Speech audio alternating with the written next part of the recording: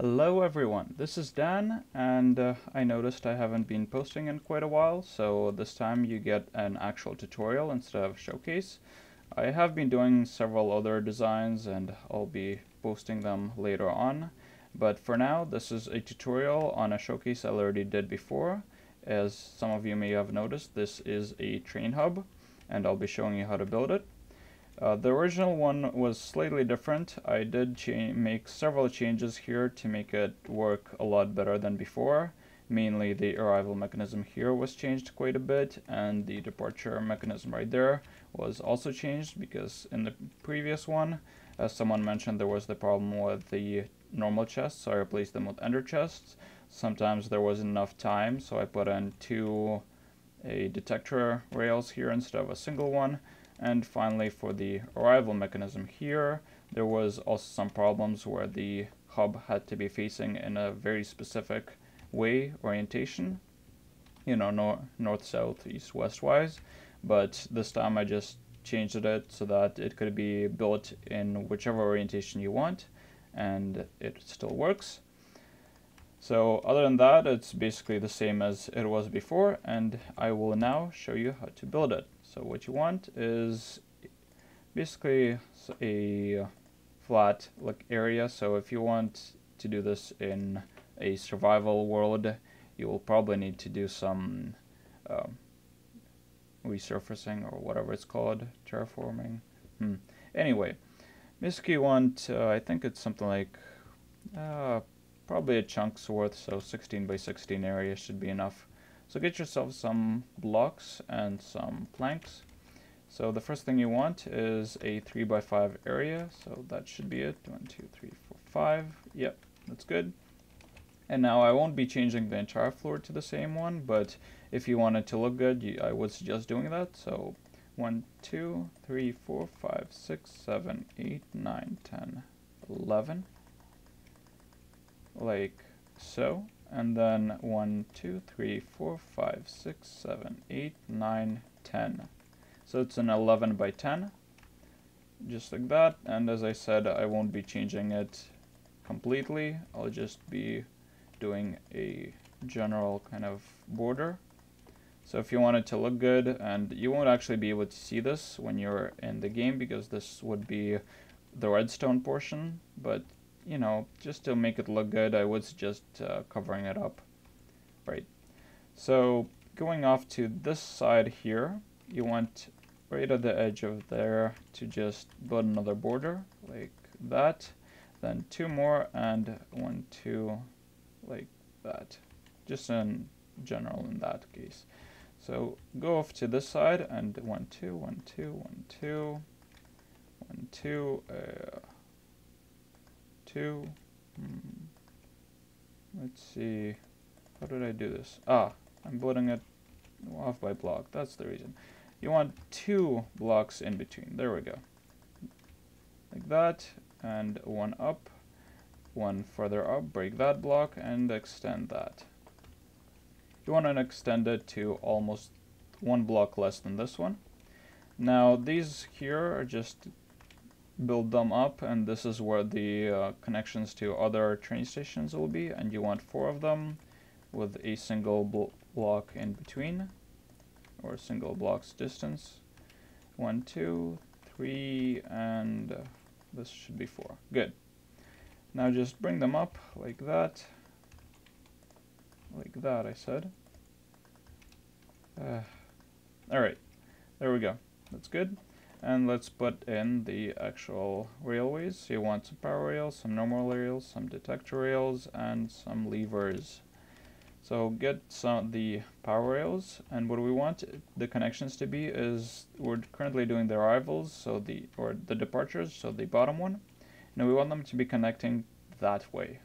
So one, two, power rail, one, two, and let's just do the same for all of them. That would be enough for now like that. Good.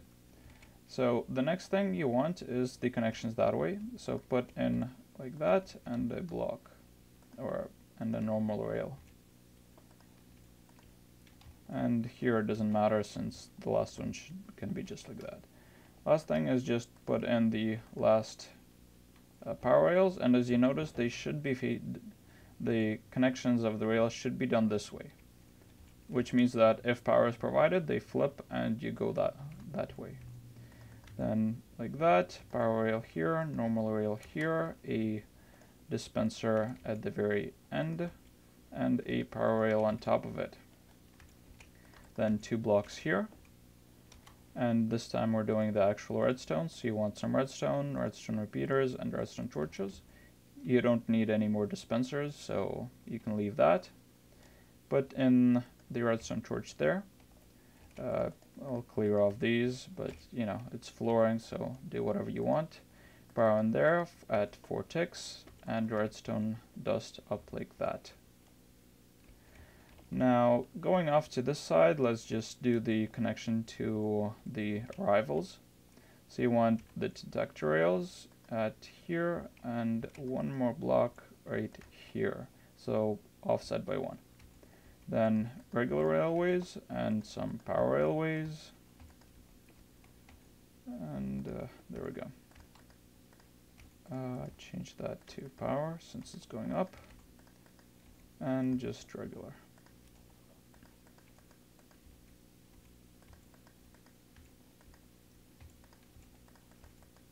just like that. And notice that this way the connections actually should be going the correct way, so facing that way, so it's better to start from this side for the, all the connections. Ah. No, that. There we go. And uh, notice there's power rails up above. So let's power on all the power rails. So one right at the bottom there. One right here and one down there. Note that for these ones down at the bottom, they do have to be levers as opposed to redstone torches, because otherwise they would power this and flip it around, which we do not want. And uh, one more here, and that should be all of them powered, so that's good. Notice that this one here isn't powered and that one isn't powered. One of them should be powered, so let's take care of that. Go like that and put in a lever inside facing it that way. So that'll power that. That's as it should be. Close that off, uh, not like that, like that, and you can actually, we will need some staircases, so you might as well grab them and place the last one like, uh, not like that, but this way. There we go. Finally, just a block there, and that covers that off. Now we'll do the arrivals. So you want some hoppers facing into the dispenser. Break these two bottom blocks and continue the hopper chain and out two. So two hoppers should be visible and these ones you can cover. Actually, no you can't. You can cover one of them and go up. That's the way it should be. Put another block there and let us connect the tripwire. So find some string and some tripwire hooks. You want two tripwire hooks and one string. Put in the string. And that's basically it for actually the departure, uh, at least for as uh, rail carts are concerned. We'll need a lot of redstone here to do the selection mechanism. So let's go over here and do the actual arrival. So close that all off put two blocks there, one block up. Uh, these can be closed off. We need a redstone torch and a sticky piston, as well as some glass. Let's see, uh, my, while we're in this setup, we also want a lava bucket, we want a sign, and we want that ender chest. So let's start right here actually, put in the sign right there. It can also be in here as long as it's taking up this spot and pour in the lava. If you're doing this in creative, be careful because you can walk into that lava, at the moment at least. So close that off there and put the ender chest. And let us put in the floor in here and the floor in here. Close that off and we'll take care of that later. Uh, break that out actually, that's not supposed to be there. Like that and like that. Get another sticky piston, put it there, and finally block that off. So that's this entire part is actually done. We can close all of that off, and we can close all of that off, and uh, put a ceiling or something. Depends on what you want, really. So get some redstone dust. Ah, damn, I removed the sticky pistons. We do need sticky pistons, and we do need the glass. Alright.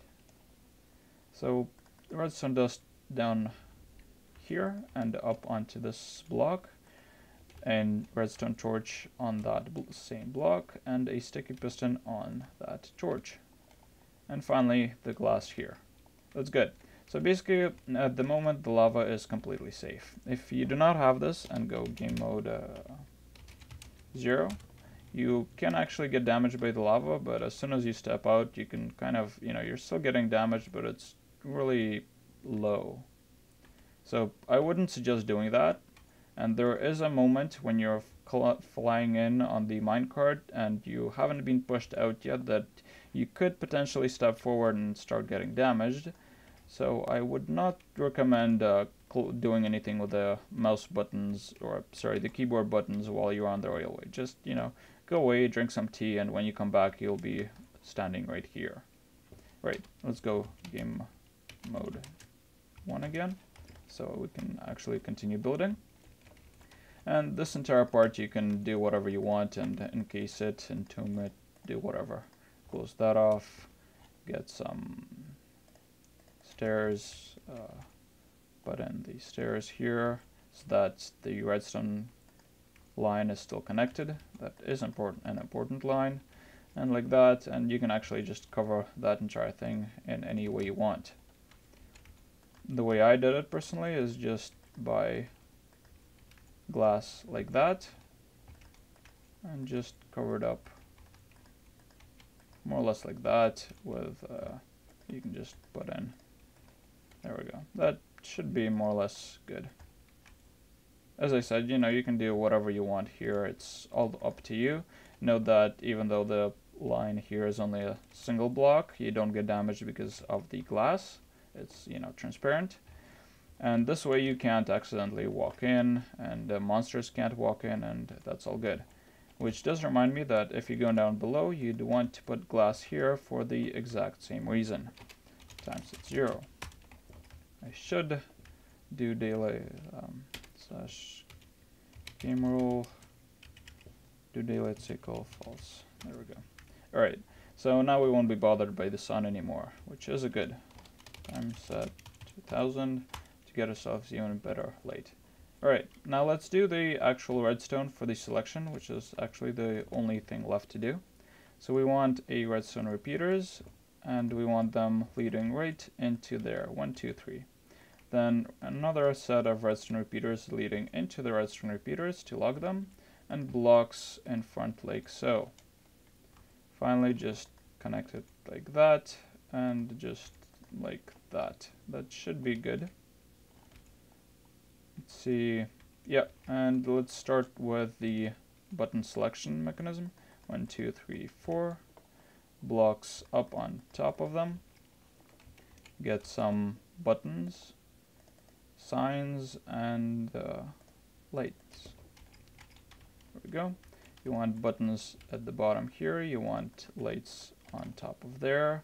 And just uh, close that off like that and like that with some signs up there which tell you which way they're going. Know that this one is the first one and it just continues on with this one being the very last one there. So that's good. What you want to do next is just place blocks in front of here and redstone repeaters right here, blocks right above them here, and um, let's see redstone comparators right here, and I think they should be at one tick. Give me a moment. All right, uh, actually they do have to be different, so set them to four ticks. Then go off to the side and just leave it to the side here. Uh, let's I was a bit wrong. There's it's slightly bigger. It's actually 11 by 11. I was looking at a different design for some non-apparent reason. So give it up and just give it a general staircase up like that. Bring it all the way up and uh, take some blocks and put them in front of the lights. Then you want some droppers. Put a line of droppers right here facing up. Get some blocks up above there so you can place the droppers facing down. And there we go, you've got just uh, two or four sets of two, two droppers facing into each other vertically like so. Yeah, you can cover that up, we don't need that. At the central two, you want to have comparators leading out. You want to put this one up, put some redstone dust down at the bottom, and a repeater like that, and another block here. And that'll be kind of this. The thing is, for this last one, it doesn't matter if power is provided, because as long as there is no power to the other three, it will automatically go to the last one. Whereas this one, we don't need a comparator because we can use this block right here. So put two of them here, put two repeaters like that, another block here, and a redstone torch there. Close that one off there, and redstone like that. And there we go. That's actually the connection for it done.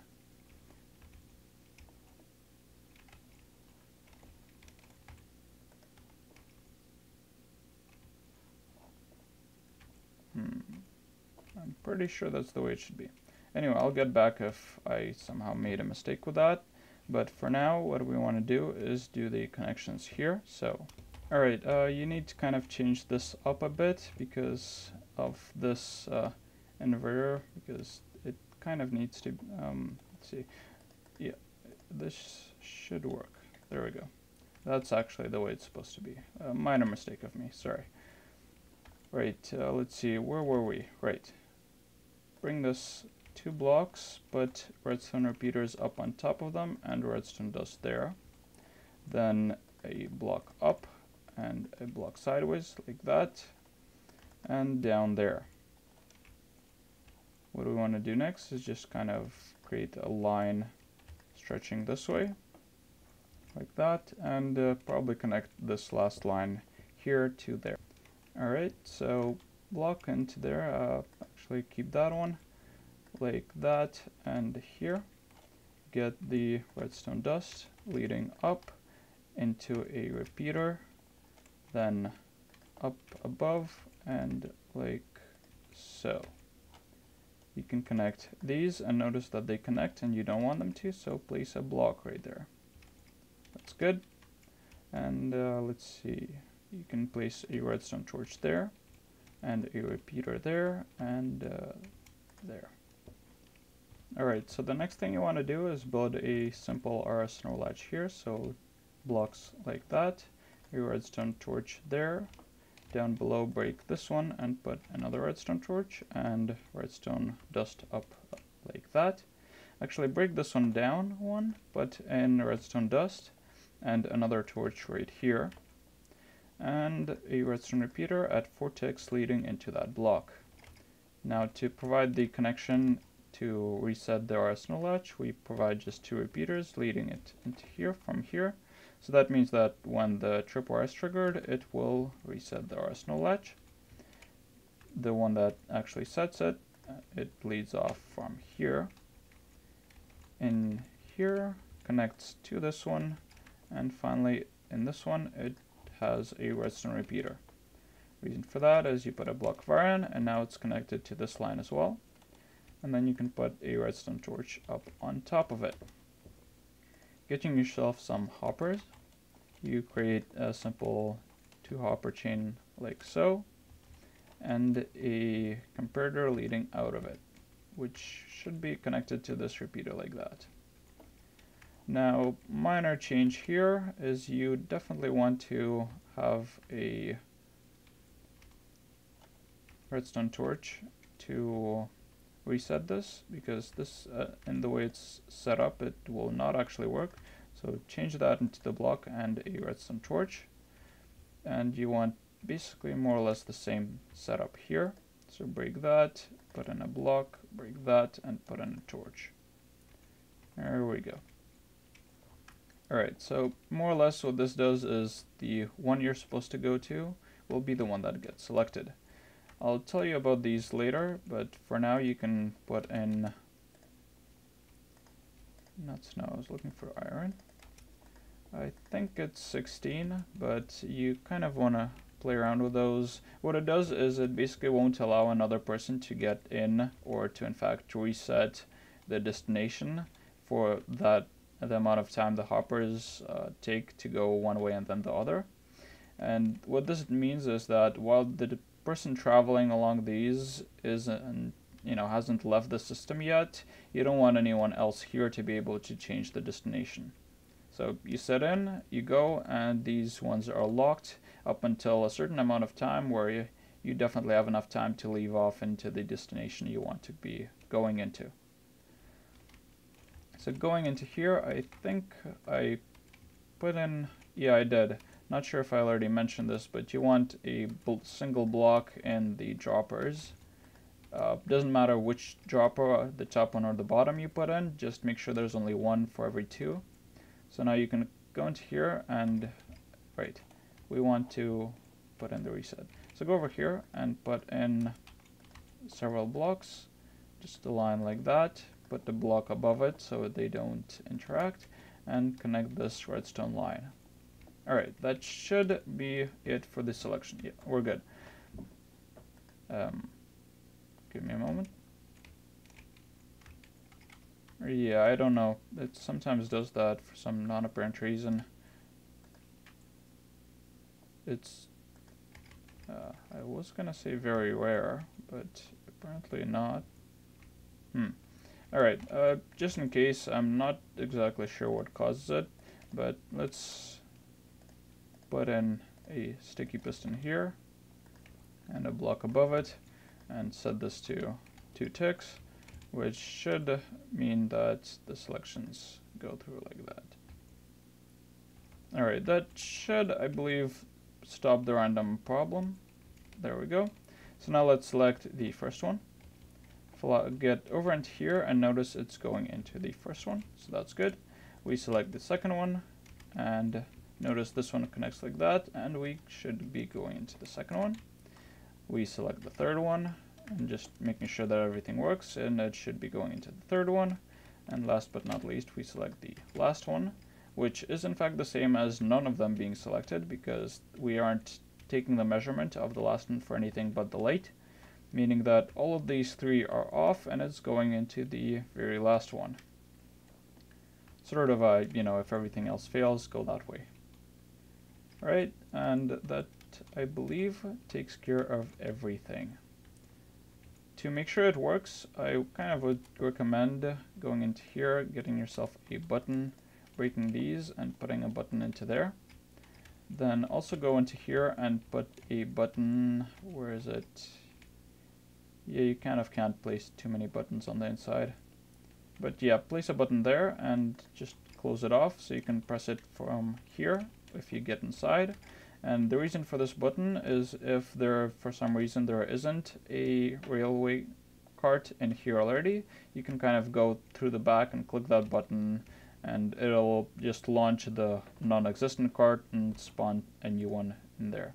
So now what we want is just to go into here and spam some minecarts in.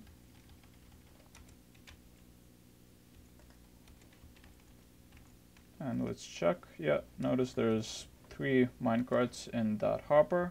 Let's click this button here to spawn it, spawn one. There you go. And now, alright, that is a bit too long. Alright, so actually you want, instead of 16, let's go with 10. I believe 10 is what I used, so 10 should be enough. So we the way to do this is we're on the very last one. We click the button, it launches it, that is closed, and then that goes through, and that switches. And yeah, it kind of went, uh, maybe even 8 actually. 8 seems to also work. So we click the button, it launches it, and then once it's out of the system, this resets. Yeah, we might actually work out with 6. 6 might actually work as well. Sends it off. Sends off the reset, and it's good. Yeah, uh, set these to 4 ticks, and the reason for this is that this will actually send off the pulse to reset when it's halfway done. So when the 6 go one way, and then the other way it won't do that. So let's see.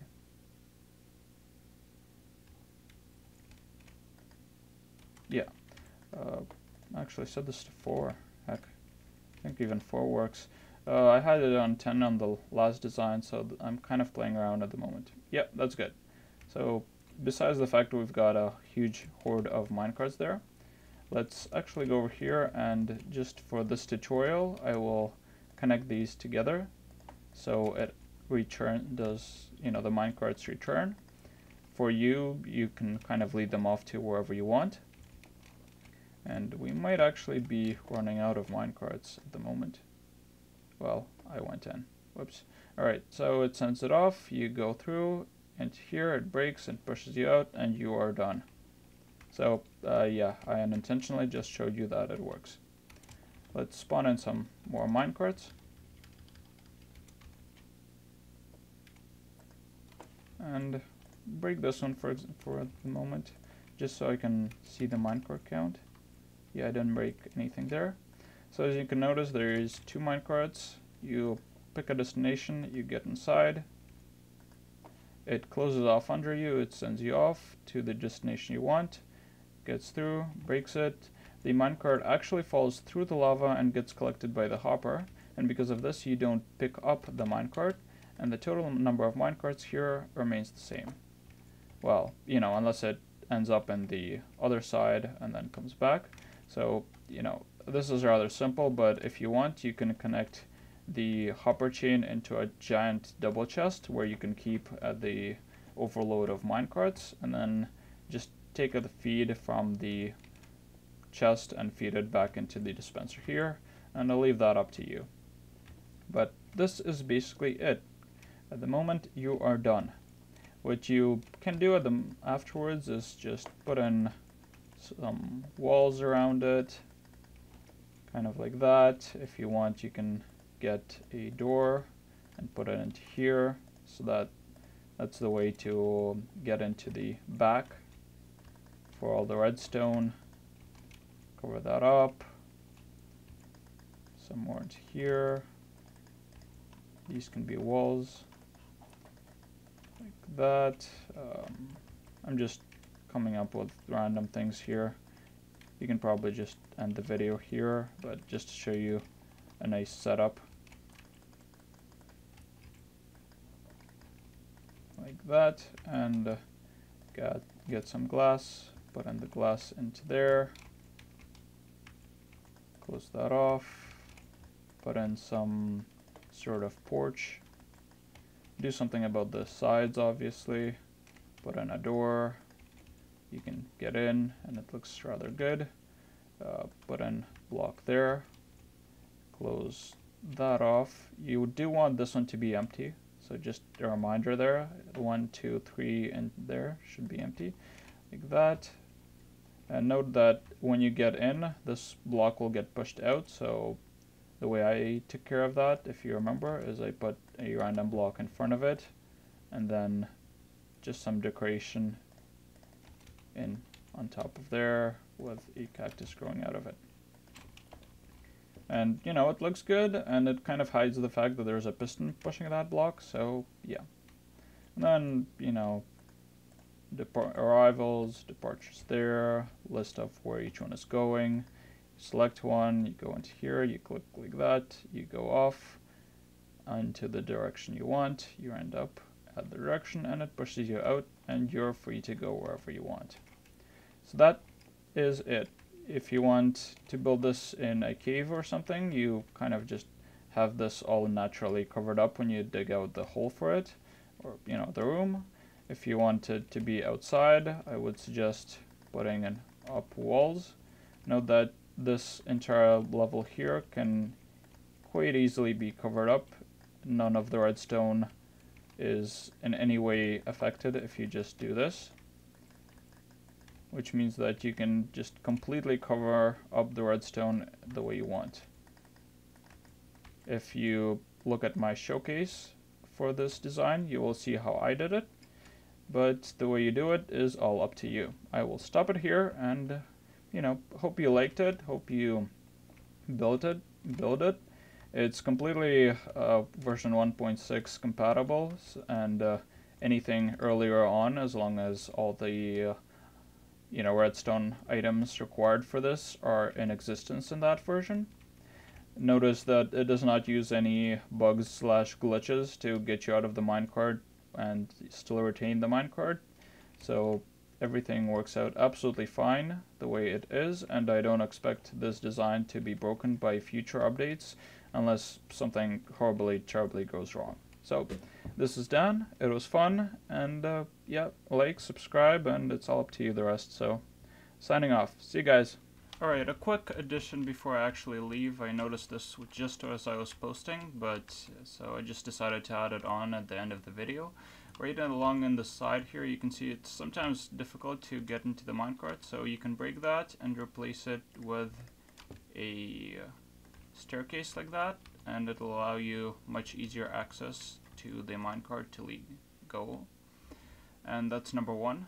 Number two, uh, as you noticed, I did mention before that I had trouble connecting, whoa, connecting these ones to be done correctly. Let me break these so I can show you what I'm talking about. These connections here, and sometimes if the power is on, it's connecting this way, and sometimes it's the other way, and it's rather difficult to do this.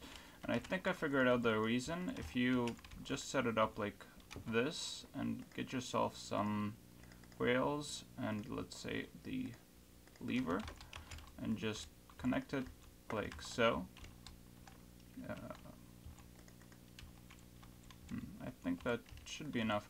And you switch it and it switches like that and then we establish it the same thing in four different directions and I will show you what we are talking about.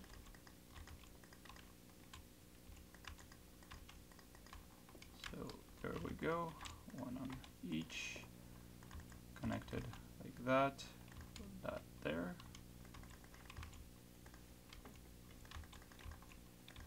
There we go, and notice they're all the same, and here if power is on it connects to the power rail, in here if the power is on connects to the power rail, in here if the power is on it does not, and same thing here. So as you notice, there is in fact a difference in orientation, and in fact you can't do these. These will always be connected this way based on the power in. So it doesn't matter which ones you place first or last. The first time you provide in the power, it'll set it to the same. So which means that this cannot in fact be built in uh, this any orientation unless I do some changes. So if you notice some problems and just check that, basically what you want is if there is no power, or let's say if there is, yeah, if there is no power from here, you want it to connect to the next one, which is the reason why here I did the inverse, meaning that because there is no power here, it connects in. If there is no power here, it connects, uh, I messed up somewhere. Let's see, talking again, okay. If there is power, it should be going in that way and if there is is no power it should be connecting to the departure mechanism. So if you're having problems and this isn't working for you, what you need to do is actually break these, extend that, break that, extend, put in another repeater. In here you want to break these two, put in a redstone here and a torch there. That's these two done. Now for this one, just break that, put in redstone dust and a repeater. So there we go. And if you notice, this will in fact mess up this orientation, because let's say I wanted to go to the last one, it will be all of them are connected. So this is not the way it's supposed to be. So if you notice that if you turn it on to the last one, and they're all facing in the departure location, you need to just invert these signals before they get to the repeater. And as I showed you, it's either this or in this configuration where you've got direct connection, direct connection, and an inverse here, you replace that with the way I showed it in the tutorial, where you break those, put in the block to invert the, this signal. We inverted that one while I was talking. And lastly, we invert this signal here, like that. And as you notice, it works again. So this just a brief overview that I gave right now will ensure that this works in any orientation you set up your train hub. Yeah, that's it. And that's it for the video this time, so I'll be signing off. See you guys.